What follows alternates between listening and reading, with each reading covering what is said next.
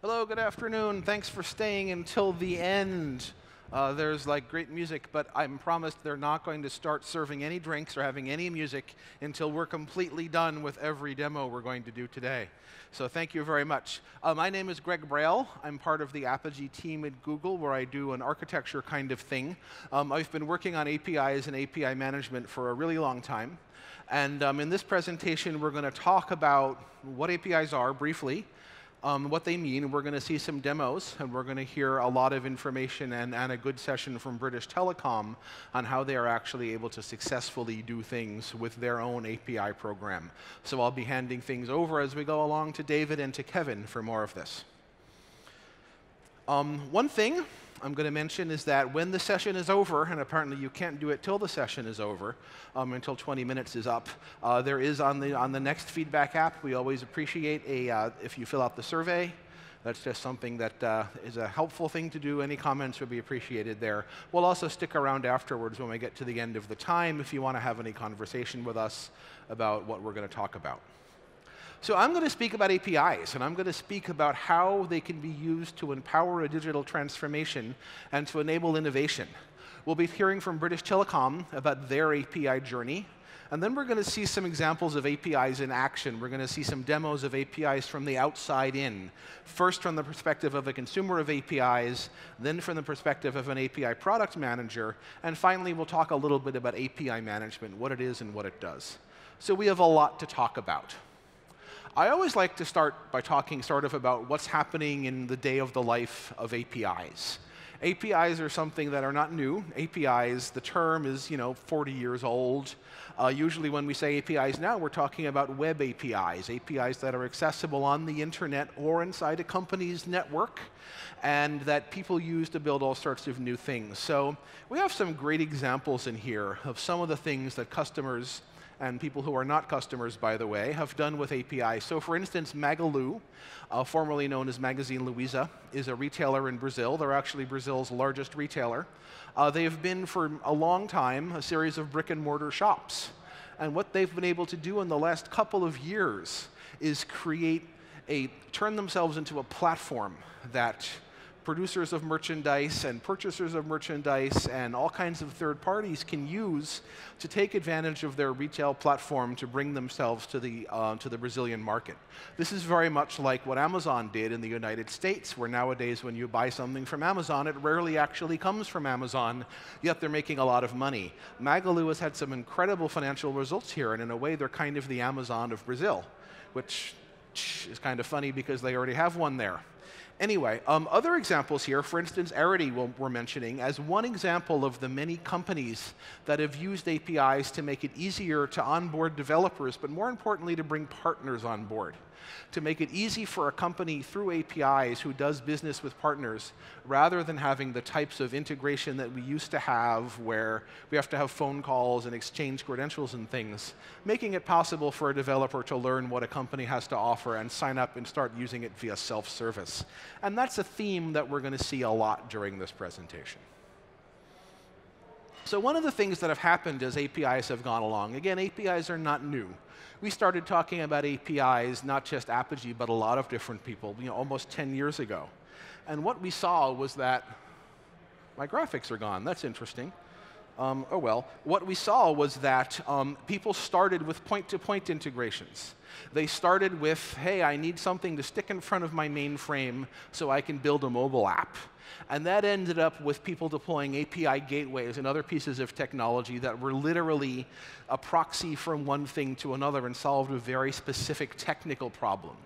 But then what came beyond that are things like omnichannel retail and other things where companies are creating differentiating digital experiences, starting with mobile apps, but now we have voice assistants and connected cars and all kinds of things. I don't know if connected refrigerators will ever really be a thing, but connected everything else probably will be.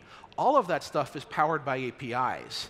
But the really powerful businesses and the ones to think about are the ones like Magalu, and even to a certain extent like Amazon, who have been able to use APIs to create new platforms and new ecosystems to drive completely new lines of business by opening what they do as instead of just a, a proprietary website or a proprietary thing, a set of open APIs that enable all kinds of third parties, customers, and partners to use the capabilities of these existing companies in new and innovative ways and drive new revenue streams. And we're going to start by talking a little bit about someone who's actually gone on an API journey within their corporation, and they're going to talk in some detail about the API program that they have and how they run it. So we're going to, move on to David from uh, British Telecom. Thank you. Thank you. Good afternoon, everybody. My name is David Elsdon. I'm the lead strategist in BT's Partner Marketplace team. I'd like to spend a bit of time talking to you today about our API journey and how our partnership with Apigee has really helped power our organization. We'll start by stepping through our business context, what that meant for our API strategy, key learnings from the program, and where we're heading next. Sound good? Cool. I will acknowledge at this stage I'm probably the tallest person everybody's seen today, so let's get that out of the way very quickly. Um, let's go back to last month. BT brand was relaunched. Partnerships remained a cornerstone of our business strategy. Across the BT organization, continue to market three customer-facing brands, BT, EE, and PlusNet. And I actually want to use EE as an example, if that's okay with everybody, um, which itself has been on somewhat of a journey over recent years. So back in 2010, we brought together the, the Orange and the T-Mobile networks to create everything everywhere. So quite a complex organization across the board. Back then, we had two mobile networks, two business organizations, two sets of back-end architecture. It's really quite a complex organization. We needed to make EE easier to deal with, but we didn't want to just go out and buy another tech firm. That would have actually created more complexity, not less complexity, with further integration layers, etc., etc., etc. We needed to be agile. So our product and technology teams went out into market. We selected Apigee, we wrapped our legacy architecture into a cloud-based API layer and delivered an optimized solution. At BT, we're a complex organization, got multiple customer brands. We don't have the ambition just to build everything ourselves. It's expensive enough, right? Three customer, three customer brands to manage, things get expensive. Uh, that's not where we're at. And looking forwards, the relationship with Apigee is important now, as it was back then with EE, as increasing complexity of, across BT, across both our fixed and mobile networks. So how do we manage our program? It's actually quite straightforward. We start by taking what we know about our customers, 20 million of them, across a range of different touch points, and we use what we know to develop truly personalized experiences.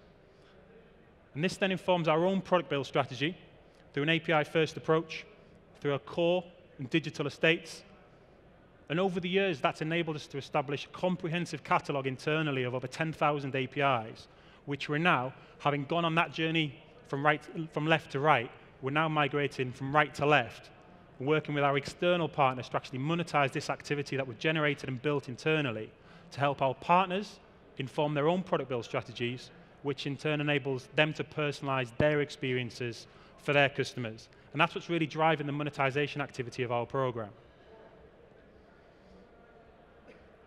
So what have we learned from this activity so far? It's not straightforward. There's four key takeouts which would be really good to unpack with you right now. The first is structure. And there's four different elements of this. The first one is, like, it's really complex. It's not straightforward to balance the commercial monetization activity of the program with the partner or customer experience. So for that reason, it's absolutely fundamental that this program really sits within the core business as opposed to the technology functions. So those trade-offs can be made most appropriately. Second within structure, agility. And by this we mean really building an agile team of dedicated resources that you've got in-house. You're not relying on the usual bottlenecks that often happen in big businesses. So within BT, what that means for us is we've got dedicated resource, an essential team that covers strategy, project management, sales, business development, partner integration all as absolutely dedicated resources that you're not having to, you know, beg, borrow, and steal internally, the usual politics of resources. We're not managing any of that. We're completely self-sufficient. The Third element within structure is really about the individuals that you're recruiting into those roles. And it's really important to strike the right balance between external industry experts who can really drive your business development activity out in market, and also internal expertise. So for us, experienced BTers who can drive the mobilization and the engagement internally, really get things moving through the organization. And the final element on structure is really about the, the sort of the secondary layer inside the, inside the structure. So really a hub and spoke model, working with dedicated business partner resource in other areas of the business, let's say finance, technology, on a more ad hoc basis. So if you need technological impact assessments or financial business case verification, that sort of thing is done with agreed SLAs to really maintain that momentum that you've generated through this agile approach. So that's structure, number one. Number two is oxygen. And by this we mean not really getting suffocated by the core business, the same usual trade-offs with more established product areas. Whilst this activity is growing and, and at the outset, it's really important that it gets given the space to grow. It needs funding. Funding is absolutely fundamental. You need to build an absolutely scalable platform. But the focus is really avoiding or resisting the temptation to focus on short-term, quick wins that can sort of evidence to the more insecure elements of the organization, look, this progress is generating a, a return. You need to have the confidence to invest in the long term, protect the funding, but really resist the temptation just solving for short-term objectives.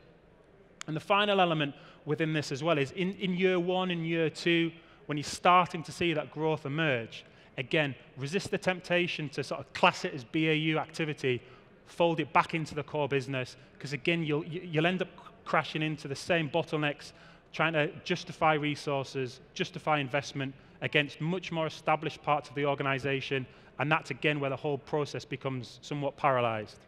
So that's oxygen. Iterating at scale, number three. This is really about building repeatable solutions. And in our experience at BT, it's really about starting with established product areas as opposed to starting from a complete standing start in new areas of the business. For us, what that meant was starting with our direct carrier billing platform and improving that technology, improving that growth through better functioning technology and more, uh, and more efficient information.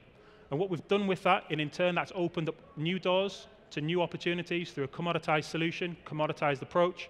But the key is absolutely building a scalable solution that can grow and flex as the activity grows. The fourth and last area, in terms of the key learnings, is really about communication. So by virtue of being a ring-fenced part of the organization, it's absolutely fundamental to take the, take the wider business on the journey with you. So for us at BT, what that's meant is two things. The first is exec level engagement, regular, regular updates to the board, really bringing to life the benefits of two things, the ring-fenced approach that we've taken and the ring-fenced investment that the team has.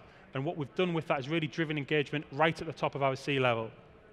And the second part of communication is really about bringing, bringing the peer group on board with you as well. So within BT, we sit with a marketing organization, and what that means is engagement with our CMO to do two things.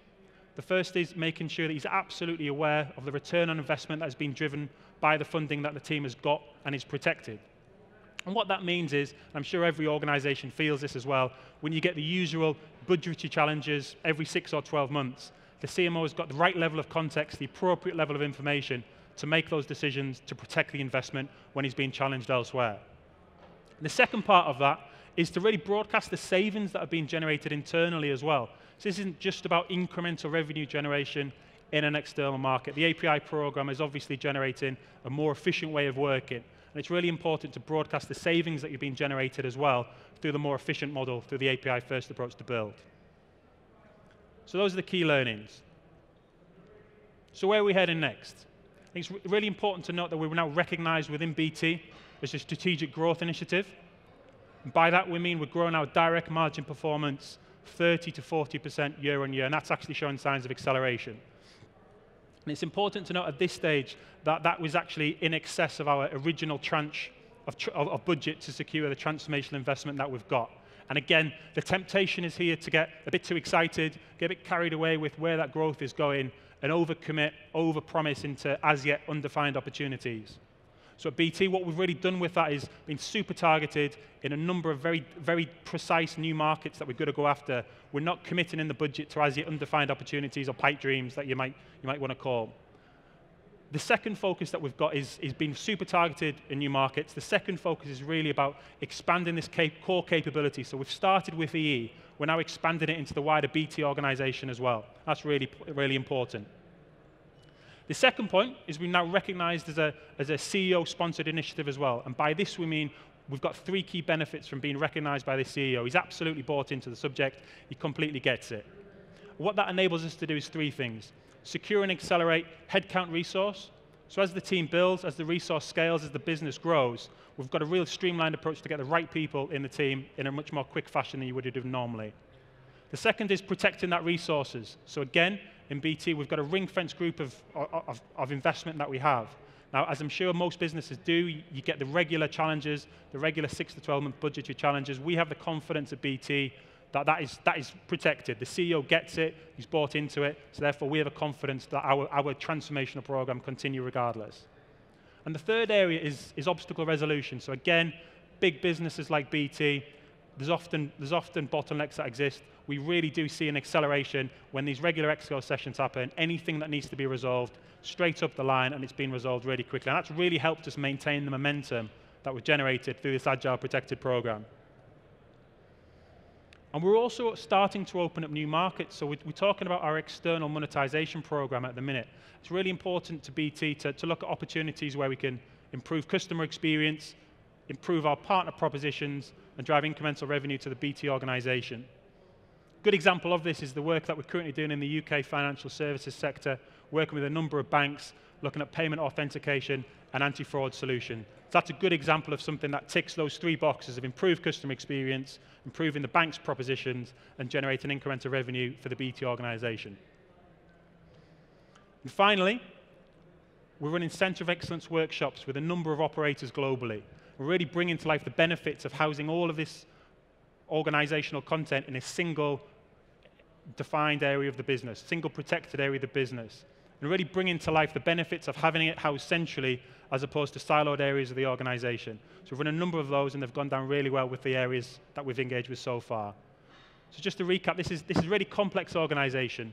It's a really complex market. The work that we've done with Apigee has really helped us unlock the, an efficient route to growth that we're now starting to accelerate and grow through an agile, targeted, ring-fenced approach. And I think communication across your organization is absolutely key to unlock the further benefits that can be driven by this program. So I'll hand back to Greg, who can talk about the API demo. Thank you. Thank you very much.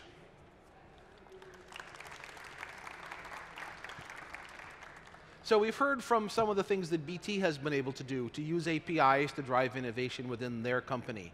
Now we're going to kind of change gears a bit and talk about um, caravans. Actually, we're going to talk about RVs um, but I'm from America, so I understand that these are actually caravans. Um, and the reason we're going to do that is because we're going to kind of change things a bit. Often, if you've ever seen an Apigee presentation or an API management presentation, the most important thing is that you create a proxy. It's like, no, that's the fifth most important thing. The most important thing is that you create an API. So Kevin is going to show us what it looks like to be a consumer of an API, and then he's going to talk about API product management and why that's important, and there will be caravans. So thank you. Thank you. So yeah, I'm from uh, the Netherlands, and as you might be aware, we are quite infamous about our, uh, our driving, uh, especially with caravans during uh, holiday breaks.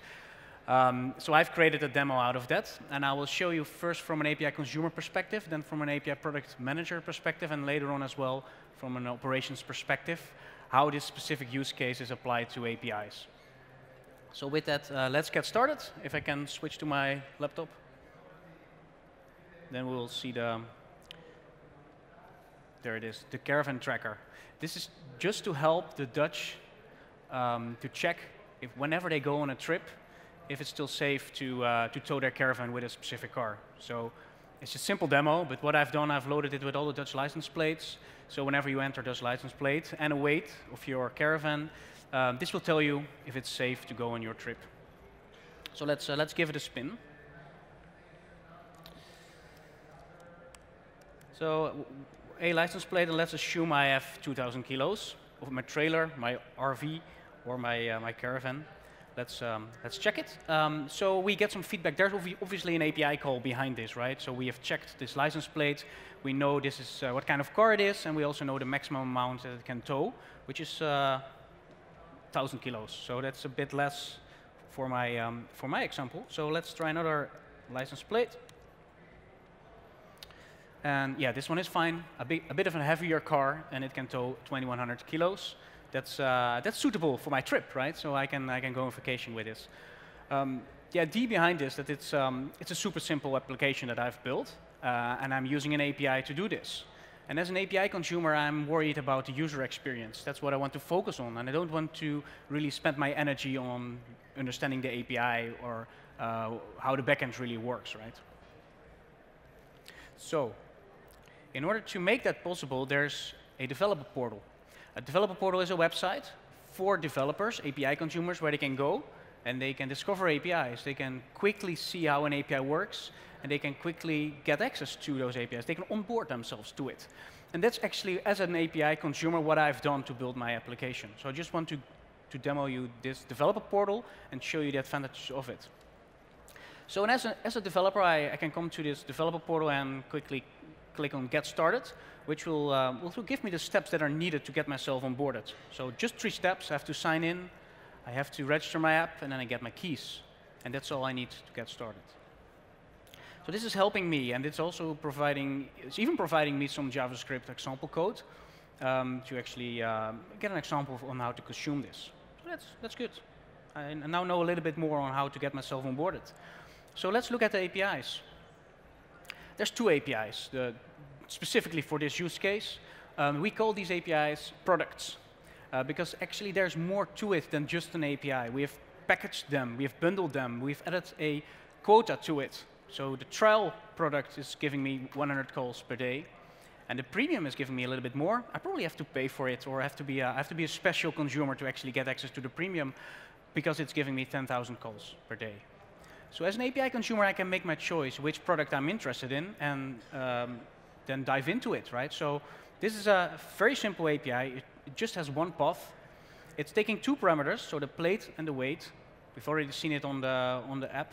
But then this, this, uh, this developer portal and this documentation is giving me clear, a clear overview on how the response looks like, what kind of uh, response codes I can see, like a 200 or 201 when there's no license plate found, uh, 400 when there's bad input. So for me, as a developer, super easy to quickly understand this API to get going, right? And then another thing I can do, I can try out the API directly from this documentation. So on the right, uh, there's um, a form I can fill in, and to test this API, I can fill in the plate, I can fill in the weight, and uh, uh, see how the API behaves and how the API works, right?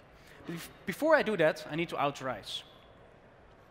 Because this API is not wide open, it is protected by Apigee with an API key. This, those are the API credentials that Apigee is enforcing. So in order for me to do that, I need to uh, add an authorization key. And I will, I will do it later. I will first show, sh uh, show you how to get one. So I'm already logged in as a developer. Um, and I can navigate to my applications. And you see I already have quite a few applications registered. Whenever I'm interested in, in registering a new one, I just give it a name. So uh, this is the next app. And I'm selecting the trial um, API product to consume, and I'm creating my app. So what this will do in Apigee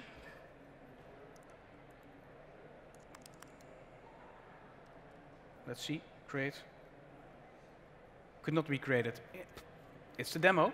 We'll just uh, stick with the ones that I already have. Let's assume I just created this app.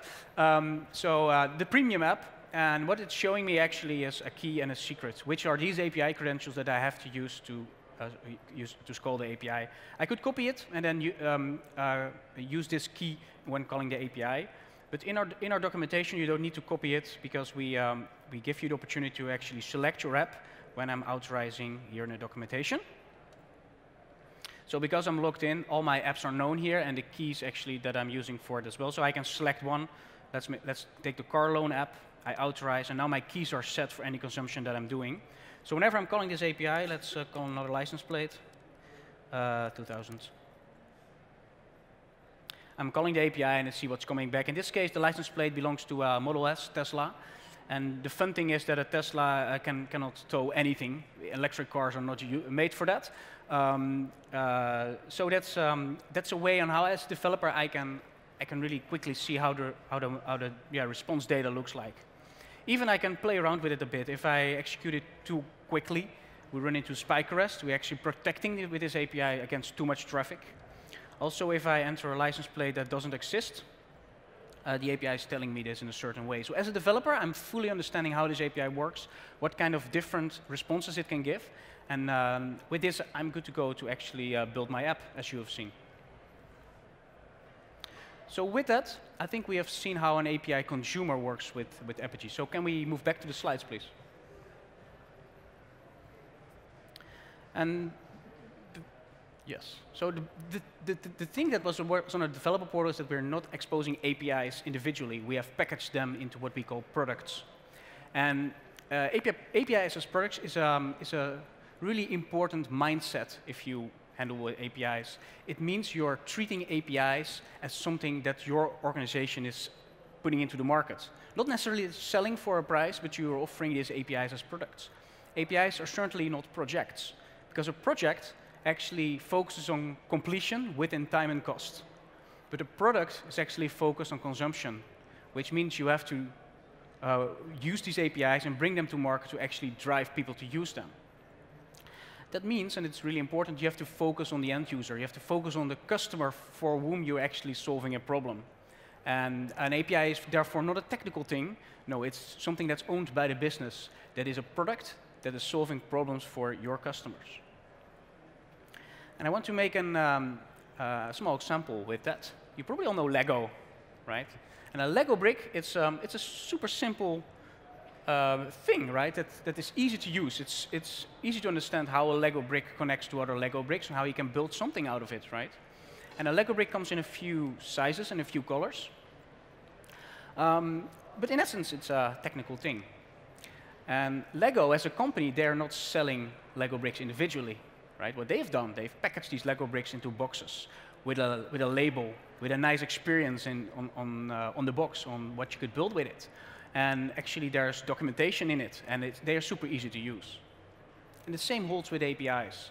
So APIs shouldn't be actually marketed or provided individually. They should actually follow the same patterns as Lego is doing. They should be labeled, easy documentation, and easy to use. And they should be owned by the business, right?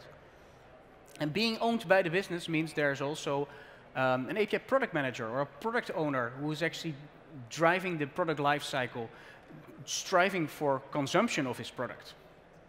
And that actually brings me into my next demo. And we're now stepping in a new role. Uh, before we were actually an ap application developer consuming APIs. Now we are a product manager, and our uh, our mission in life is actually to drive consumption of our API products and to manage the API product lifecycle.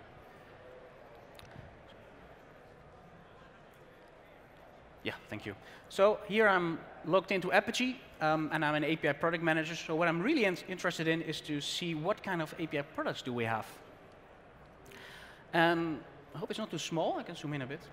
Um, really the same two products that we had on our developer portal, right? But now I can, as an API product manager, I can really look into these products. Um, I can see the quotas we have set for it. Uh, we can we can change them as we see. We can make other products uh, out of this. And also we can um, uh, configure what kind of APIs are actually bundled into this product. So whenever somebody gets access to this product, this is what they can do with it. This is are the APIs they can access. And then at the bottom, I can also see what kind of consumption we have on this product. I can see the apps that have registered. I see the developers that have, have shown interest. They've registered themselves to use this API. But that's just configuration. That's just registration. Really what I'm interested in as well is um, uh, how are we doing with this API? How's, how's the consumption going?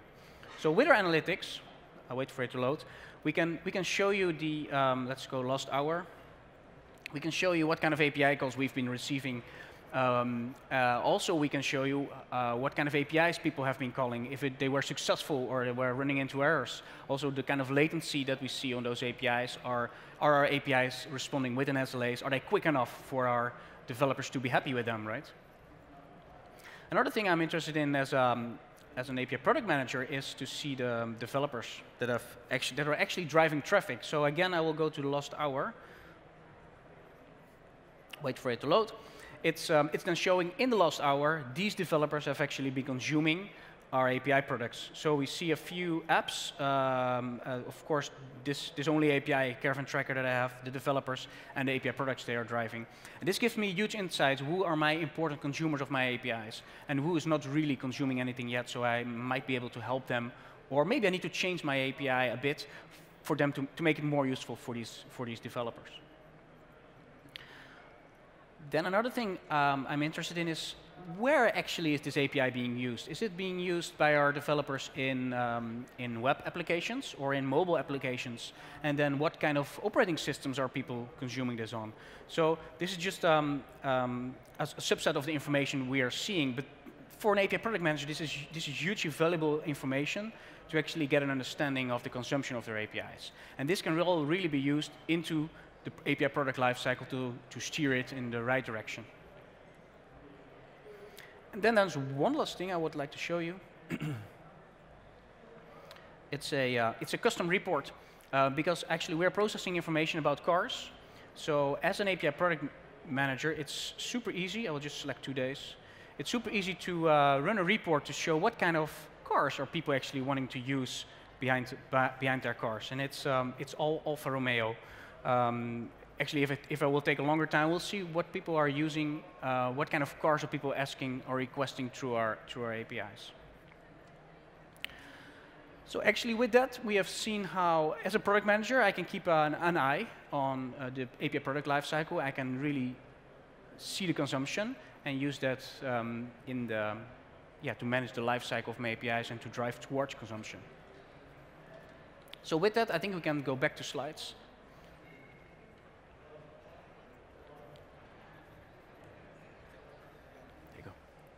Thanks. So thanks. Uh, we're going to bring back Kevin a little later and, and, hopefully do another demo. I think we have some time. But basically, what we just showed you, we always talk about this at Apigee. It's actually required in my contract, only kidding, but that we there's this thing, this concept Apigee came up with called the Apigee value chain. And the point of this is to show that in order for an API to be successful, you have to get value all the way from that back-end system that does the heavy lifting all the way to the customer. What Kevin just did was he showed us what it looks like to be in two roles. To be in the role of the API consumer, the person who's actually building the API, who's actually building the app, I'm sorry, not the one building the API, and the role of the API producer. And in the world of APIs and API management, the role of API producing is not just application developers who write code and stick HTTP endpoints on the internet. It's also about how we're going to define policies around how that API is exposed and how we control and monitor who is using that API, how they're consuming it, and how much they're consuming it. And that's exactly what we were just looking at. So this whole world is the discipline of API lifecycle management or full lifecycle API management. This is a whole product category, of which Apigee is, of course, the product that I'm going to speak about, which is all about putting some frameworks and some tools around the whole process of creating an API, building it, deploying it, making some decisions about how it can be consumed and how much it's going to be consumed, publishing it to developers, and those developers might be within a large or a medium-sized organization, in a multinational company, they might be in a different part of the group, or they might be developers who are partners or customers or people who are completely unknown to you, which is the kind of API Kevin was building.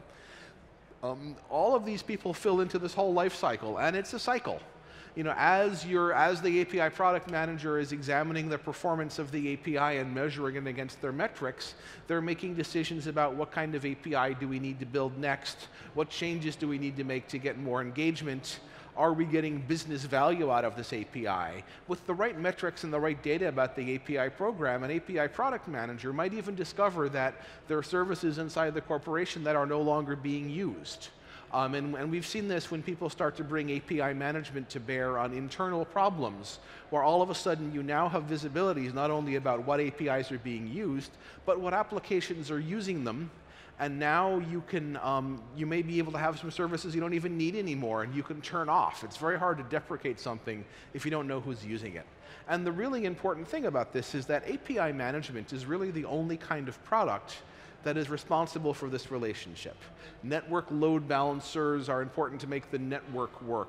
Web application firewalls, identity systems, application servers, containerization technology, that's all part of the infrastructure. Once you want to take that service you've built on that infrastructure and make it available to developers via self-service and have some hope of understanding who's using it and how much and having some control over that, you need to have API management. So Apigee is our API management product, and it brings in all these kinds of things we just talked about. Up on the top, it brings in tools and technologies for the developer, like a catalog of APIs, like API portals. There are even functions for things like monetization, where if a product manager wishes to charge for an API, which is actually not something that works for everybody, but it works for some people, you have an option to do that, right? If Kevin wanted to charge five, five cents per caravan, he could. I'm not sure who would pay that, but maybe Dutch people really love their caravans. I don't know. Car dealers might do that, actually. You could sell that to car dealers. Um, another would be monitoring and analytics, and that's really a second part of this whole API management world, which is how do I use that metadata about my API traffic to make decisions about my business? And uh, there are two interesting really parts of that. One is one we saw, which was the custom report.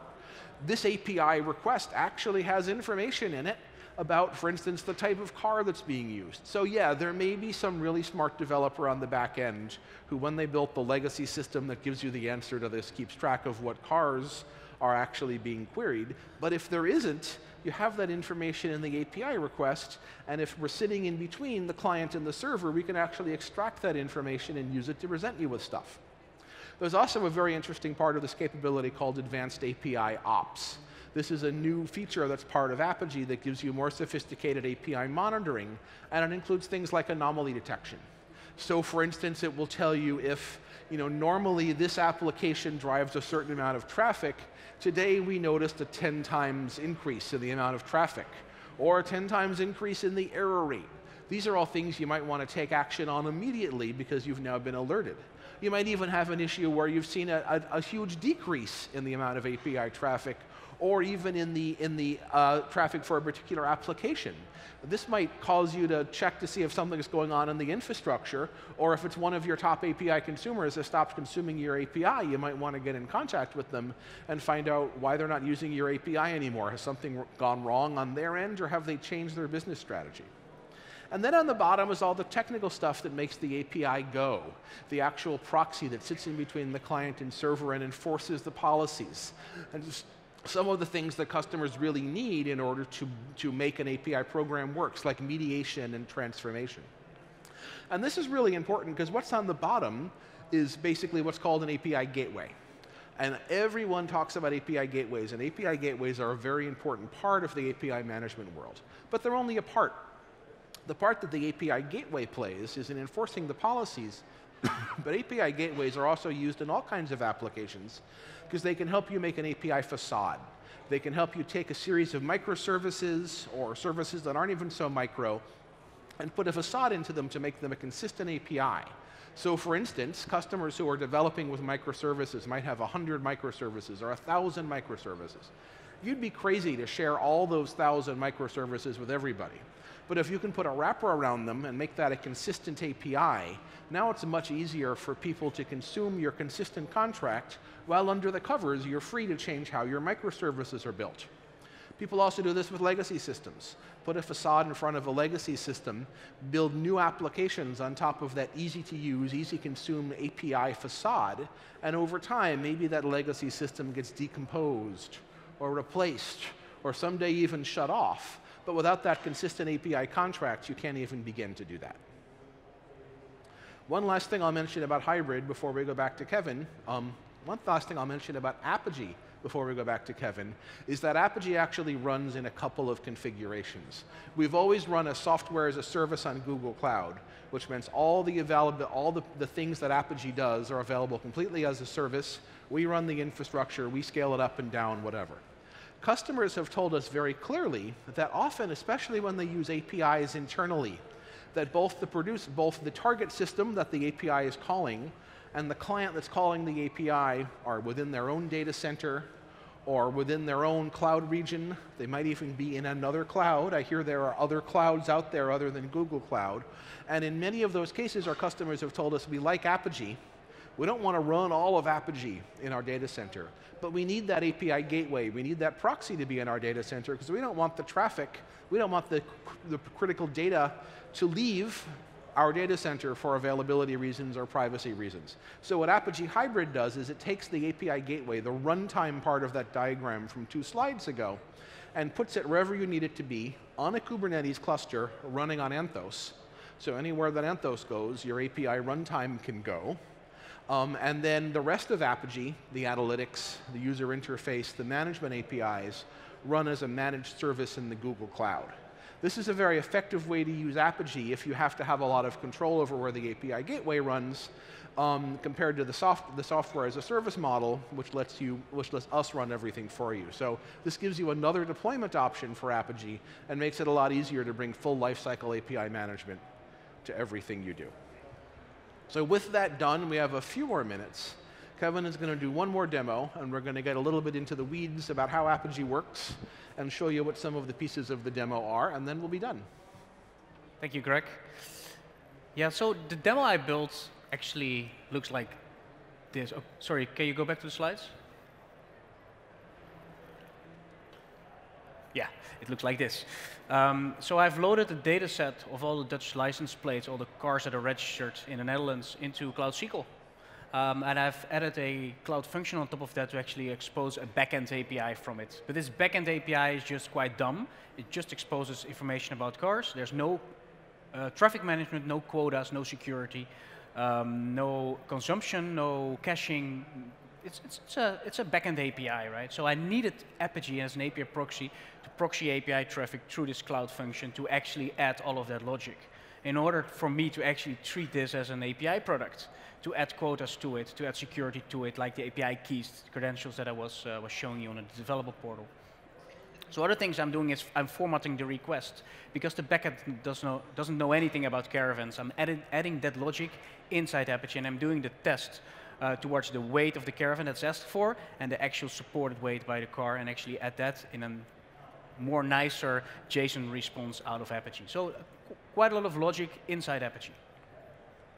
So as an API operations manager, I would need to keep an eye on this, right? I would want to know if my APIs are up, if volume is still within normal, uh, not too much, not, not, not, not a big drop in API volume, and I would like to see the latency. I would want to monitor the latency of my API proxy as they're being consumed to the outside world, and also would want to like to monitor the latency of my cloud function, right? Is my backend still up? Is Google Cloud still doing, is still Google Cloud still performing? I'm sure it does, but I still want to monitor it. So uh, can we go back to the laptop, please? please? Yeah, thanks. So now we're still in Apigee, um, same user interface, but now again a different role. I'm now an, uh, an, operations manager, and as an operations manager, I'm more interested in the in the technical monitoring. Oops, sorry. So I'm, I'm opening the um, the API monitoring screen, and right here I, I get from the last hour information around the total traffic, the error rate, and the latency. I think the latency looks good, half a second. The error rate looks a bit high, right? 30, 34 percent. So it's, it's something I might be interested in to, um, to, to look at as an operations manager. Are, the, are, these errors coming from a specific consumer? Are these errors coming from the backend? Um, or is, is somebody maybe uh, deliberately pushing errors into our, into our platform? So then if I, if I click on the timeline, I can see all this information over time. So I can see, is this now happening for a longer period? Has this happened all of a sudden? Uh, when did it start happening? And when I know when it started happening, I can dive into it and see what kind of API consumer was starting to push traffic to my APIs from that moment in time. So we see this from total traffic, and uh, we can see that for latency and, uh, and errors as well. So another thing that is quite interesting to, to get an overview for the uh, API operations manager is the investigation screen.